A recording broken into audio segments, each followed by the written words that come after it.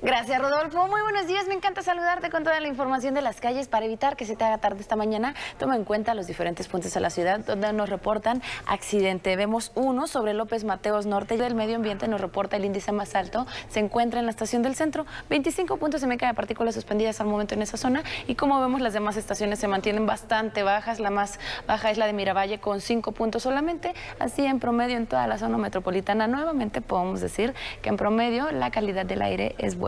Hay más información, que tengas muy bonito día, un excelente jueves y recuerda usar el cinturón de seguridad. Gracias, Rodolfo.